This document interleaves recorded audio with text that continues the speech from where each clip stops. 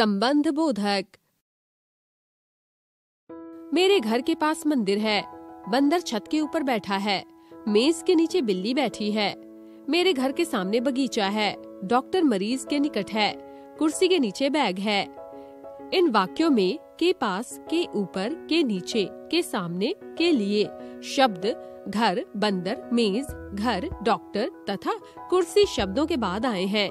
वस्तुतः घर, बंदर, मेज, डॉक्टर, कुर्सी, संज्ञा शब्द है। के पास, के ऊपर, के नीचे, के सामने, के निकट तथा के नीचे। शब्दों ने संज्ञा के बाद आकर उनका संबंध वाक्य के अन्य शब्दों के साथ प्रकट किया है। अतः ऐसे शब्द संबंध बोधक कहलाते हैं। जो अव्यय, संज्ञा या सर्वनाम के साथ जुड़कर उनका संबंध वाक्य के दूसरे शब्दों से बताते हैं, उन्हें संबंध बोधक कहा जाता है। संबंध बोधक के भेद। प्रयोग के अनुसार संबंध बोधक के भेद। प्रयोग की दृष्टि से संबंध बोधकों के दो वर्ग बनाए जा सकते हैं। विभक्ति सहित, जैसे के जमा पास, के पास, से, जमा पहले, से पहले आदि। विभक्ति रहित, जैसे तक, पहले, पीछे, समेत आदि। अर्थ के अनुसार संबंध बोधक के भेद। कालवाचक, के पश्चात के पहले, के बाद, के उपरांत आदि। स्थानवाचक के निकट, के यहाँ, के भीतर, के ऊपर, के सामने, के आगे, के पीछे आदि। दिशावाचक की तरफ़, के पार, की ओर, के आसपास, के चारों ओर आदि। साधनवाचक के माध्यम, के हाथ, के सहारे, के आसपास, के चारों ओर आदि। समतावाचक की भांति, के तुल्य, की तरह, के सामने के अनुसार, के सदृश्य आदि। हेतुवाचक के लिए, के कारण, के वास्ते, के निमित्त, के सिवा, की खातिर आदि। तुलनात्मक, की अपेक्षा, की तुलना में, के आगे, के सामने, के जैसा आदि। सहचर वाचक, के संग, के साथ, के मात्र, के सहचर, के समेत आदि। विरोधवाचक के प्रतिकूल, के विरुद्ध, के उल्टे आदि। संग्रहवाचक के समेत, के भर, के तक आदि। कई कालवाचक और स्थानवाचक अव्यय, संबंध बोधक और क्रिया विशेषण दोनों ही होते हैं। जब उनका प्रयोग संज्ञा अथवा सर्वनाम के साथ होता है, तब वे संबंध बोधक अव्यय होते हैं। किंतु जब वे क्रिया की विशेषता बताते हैं, तब क्रिया विशेषण होते हैं। खंड क, खंड ख। क्रिया विशेषण, संबंध बोधक। वह अंदर बैठा है, कमरे के अंदर कोई छिपा है। वह बाद में आया। कमल के बाद मेरा नंबर है। सामने देखो और चलो। वह दरवाजे के सामने बैठे हैं। छत के ऊपर बंदर बैठा है। सेब मेज के ऊपर रखा है। उपर्युक्त खंड क के वाक्यों में आए रंगीन शब्द अंदर, बाद, सामने तथा के ऊपर शब्द क्रमशः बैठा, आया देखो, तथा बैठा है। क्रिया की विशेषता बता रहे हैं। अतः ये क्रिया विशेषण अव्यय है। लेकिन खंड ख के वाक्यों में आए रंगीन शब्द के अंदर, के बाद, के सामने, के ऊपर, शब्दों का प्रयोग संज्ञा या सर्वनाम के साथ हुआ है। अतः ये संबंध बोधक अव्यय है। इस तरह से हम देखते हैं कि यदि अव्यय शब्द क्रिया की विशेषता बताते हैं तो वे क्रिया विशेषण अव्यय कहलाते हैं। और यदि यही शब्द किसी संज्ञा या सर्वनाम के साथ संबंध स्पष्ट करे तो ये संबंध बोधक अव्यय कहलाते हैं।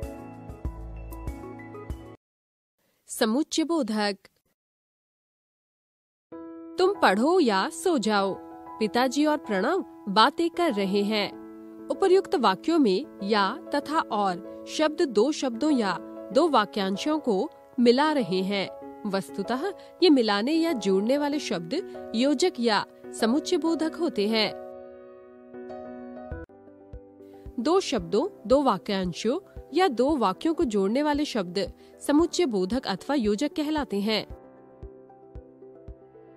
समुच्चय बोधक अव्यय के कार्य।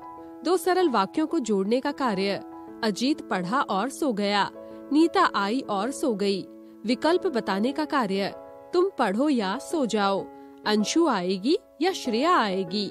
परिणाम, अर्थ या कारण बताने का कार्य। खेत सूख गए, क्योंकि वर्षा नहीं हुई। माँ बीमार थी, इसलिए मुझे जाना पड़ा। विरोध करना। मैं खेलना चाह रहा था, लेकिन चोट लगी थी। वह पढ़ने पहुँचा, लेकिन स्कूल बंद था। समुच्चय बोधक के भेद। समुच्चय बोधक अव्यय के दो भेद होते हैं। समानाधिकरण समुच्चय बोधक व्याधिकरण समुच्चय बोधक समानाधिकरण समुच्चय बोधक जो अव्यय समान शब्दों, वाक्यांशों अथवा वाक्यों को परस्पर जोड़ने का काम करते हैं, वे समानाधिकरण समुच्चय बोधक अव्यय कहलाते हैं, जैसे और, तथा, परंतु, किंतु, लेकिन, अतः, इसलिए, अथवा, तथा बल्कि, आदि। समानाधिकरण समुच्चय बोधकों का वाक्यों में प्रयोग।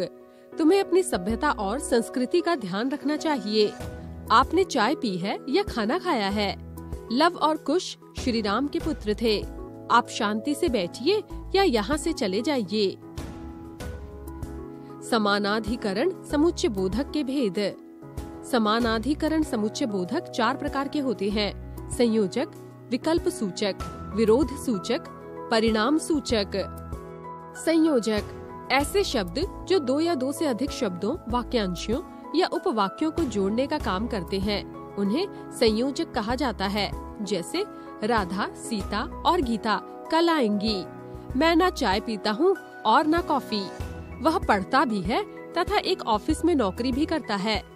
इन वाक्यों में प्रयुक्त और तथा शब्द संयोजक समानाधिकरण समुच्चय बोधक हैं। विकल्प सूचक। ऐसे शब्द जो दो या दो से अधिक शब्दों, वाक्यांशों या उपवाक्यों में विकल्प प्रकट करते हैं, उन्हें विकल्प सूचक कहा जाता है, जैसे श्रेया अथवा अंशु में से किसी को भेजो, तुम पढ़ने बैठो अथवा सो जाओ। इन वाक्यों में प्रयुक्त अथवा विकल्प सूचक समानाधिकरण समुच्चय बोधक है। विरोध सूचक, जो अव्यय शब्द दो कथनों में से प्रथम का विरोध या निषेध प्रकट करते हैं, वे विरोध सूचक कहलाते हैं। जैसे, उसने मुझे बुलाया है, लेकिन मैं नहीं जाऊँगा। दिव्या आना चाहती थी, किंतु राधा ने उसे मना कर दिया। इन वाक्यों में प्रयुक्त लेकिन तथा किंतु विरोध सूचक समानाधिकरण समुच्चय बोधक है।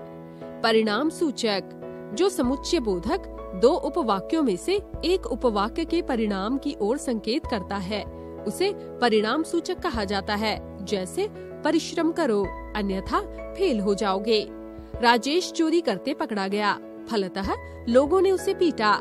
वह देर से आया, इसलिए अध्यापक ने उसे डांटा। उपर्युक्त वाक्यों में प्रयुक्त अन्यथा, फलतः, तथा इसलिए परिणाम सूचक समानाधिकरण समुच्चय बोधक है। व्याधिकरण समुच्चय बोधक व्याधिकरण समुच्चय बोधक अव्यय दो ऐसे उपवाक्यों को जोड़ने का काम करते हैं, जिनमें एक प्रधान या मुख्य उपवाक्य होता है तथा दूसरा आश्रित उपवाक्य होता है। व्याधिकरण समुच्चय बोधक के भेद। व्याधिकरण समुच्चय बोधक अव्यय चार प्रकार के होते हैं। कारण बोधक, संकेत बोधक, स्वरूप बोधक, उद्देश्य बोधक, कारण बोधक जिन समुच्चय बोधक शब्दों द्वारा वाक्य के कार्य, कारण का बोध हो, उन्हें कारण बोधक अव्यय कहा जाता है। जैसे, परिश्रम करने के कारण वह कक्षा में प्रथम आता है। मेहनत करो ताकि सफल हो सको। बुखार था इसलिए स्कूल नहीं जा सका। सब चले गए, क्योंकि समय समाप्त हो गया।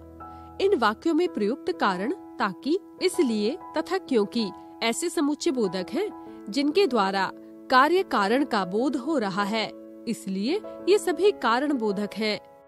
संकेत बोधक, जिस अव्यय से वाक्य में संकेत या शर्त प्रकट हो, वे संकेत बोधक अव्यय कहलाते हैं। जैसे, यदि तुम आते तो मैं भी चलता। यदि रवि आता तो सुमन जाती। यद्यपि वह धनी है, तथापि बहुत कंजूस है। यद्यपि वह निर्धन है, तथापि ईमानदार है।